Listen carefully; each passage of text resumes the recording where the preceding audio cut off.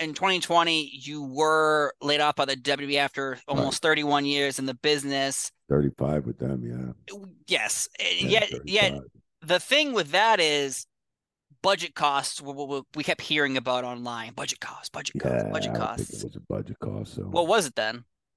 don't know, don't know to this day. I mean, you know, yeah, I was I was making really good money, man. I was, you know, I'll tell you straight out, I was probably making two forty a year. Making two forty, but I've been there for thirty five years at the time. Um, I was out on surgery. I was out. Mm. I was out hurt, and I made the transition. I was I moved to Houston in 07, came here in 2019, waited about a year for a house to be built, got here in October 2019.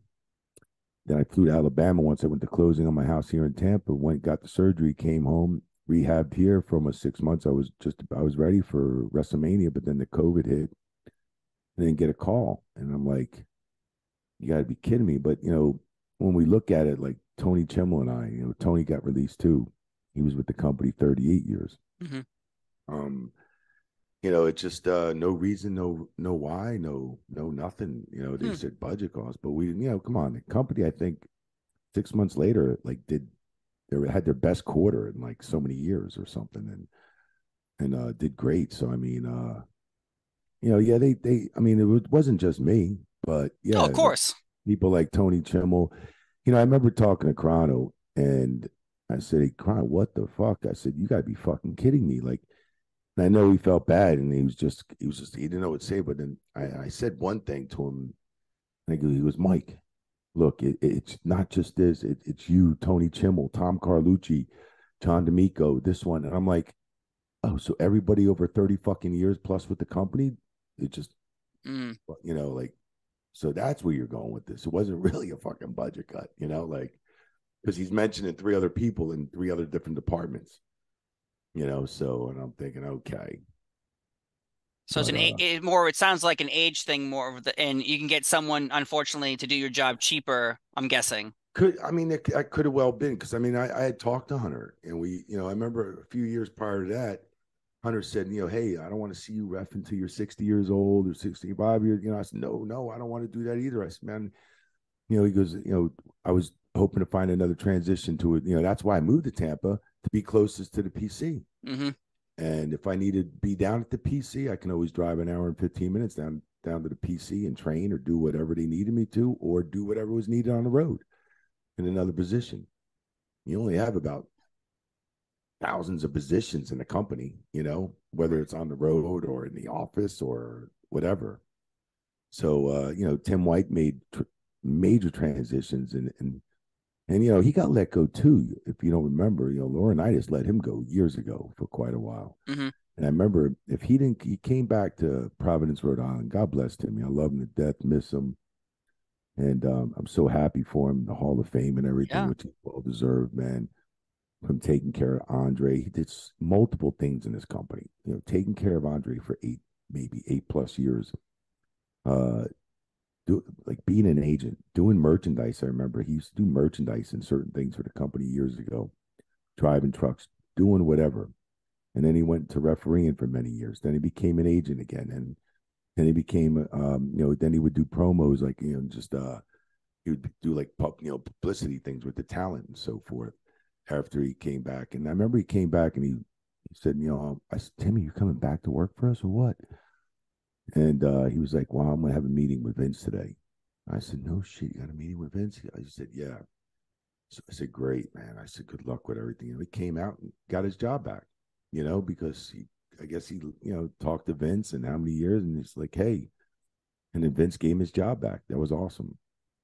And It's awesome to hear. able to- yeah, and then he was able to work for WWE for quite a while until he passed, you know, and but that's what he loved and enjoyed. You know, he was going nuts at home, sitting home at the friendly tap, I'm sure.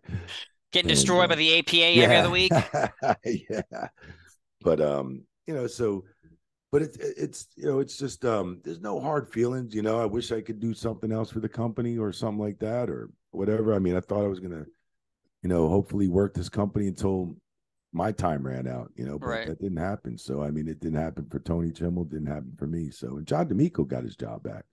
They actually called him back and got his job back, which was cool. But yeah, But- that that was a shocking moment in 2020. Yeah, I don't know if you ever remember Mark Yeaton. You remember Mark Yeaton? Oh, yeah. Timekeeper? Of course. Remember him? All right, great friend everything, good guy, hard worker. We traveled the roads in the 80s and 90s and 2000s and did crew stuff at the warehouse in Connecticut and so much. Me, him, and Tony Chimel. And Mark used to come on the road with our ring crew because we were the one step, we were the one stop shop ring crew. Set up the rings, play the music, do this. We were, you know, Chimel was a ring announcer. I was a referee. We both drove the trucks. We both did this. We did everything, you know. So uh, and Mark Yeaton used to travel with our crew a lot because he was in Pennsylvania. We were in South Jersey. One day they came up, security guy Jim, and, and he's still there, works for Vince. And uh, he said, Mike, what did Mark Yeaton do? And I said, No, I don't know, nothing. What does Mark ever do but friggin' work hard all day long? And he was in production. He goes, I got to escort him out. I'm like, What? And this was El Paso at a TV taping in SmackDown. And I'm like, You gotta be fucking kidding me. For what? I'm like, Fired? Es- escort fired? It's like, yeah, I think so. So escort him, and that was the end of Mark Yeaton. And when nobody knew what they ever done. You know, I mean, they paid him for a while, which was great, which they paid me for a while. But no reason, no rhyme, no no nothing. Why? So no one did you ever find years. out what happened?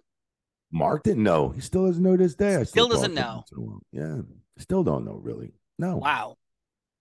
Mm-mm. In- can- That's interesting. it is. Uh, It is. because again as years have gone on uh, you always hear it's Mhm. kind of like ghost tales where you hear stories that you're like i'm not i can't confirm these stories because i don't Right. know i you Right. only read about them randomly so you're like I, I can't really for instance the the the layoff of you was budget costs. Okay Right. well i'm talking to you right now and you're like uh, you know budget costs we like i don't understand. And like that's the thing is at the time when you were when you were let go it wasn't just you it was like like 15 people. Right, and then, and then about four months later it was another 15 people. Then after that it was another 15 people. It was a crazy amount of people being laid off all at once and the idea at least in my brain and a lot of people's brains is stock here our quarterly earnings are coming up. So Mhm, how do we make it mhm. look like to our stockholders? We have more money than we actually do. Well Right. lay off a referee who unfortunately is making a good living and lay off 15 more people. Suddenly we have you know 10 15 20 million dollars we didn't have before. And now Right. look at it we show our stockholders they're like oh very impressive very impressive. Yeah, and i that- think th- that's where i think this might have gone Yeah, that roster they let go was nowhere near the 10, 15 million. That's for sure, though. well some of them When- were not making 10 when 15 Brock, now when Brock Lesnar didn't work out his contract, yeah, that was millions down there. that's true that's true like That some people i was millions. shocked to see like i remember braun strowman or But bray Brock Lesnar- wyatt yeah, and yeah. people like that, I was like, damn, those guys must be making close to a million a year and uh, more maybe in off merchandise sales as well. And- yeah, but some talent was making an incredible amount of money because AEW they were sucking up everybody in these big ass contracts because they were they didn't want them to go to AEW at that Yes. time. yes. You know, so they were like giving guys like 350 400 something thousand dollars and then like holy shit like these contracts were huge Oh yeah. which is great for the wrestlers which is great because you know with tony khan starting up aew the way he did now people have a place to go you know what i'm saying? Yes. now you have a now you have a bargaining tool. You have a bargaining you know you're not the only game in town which is great for the talent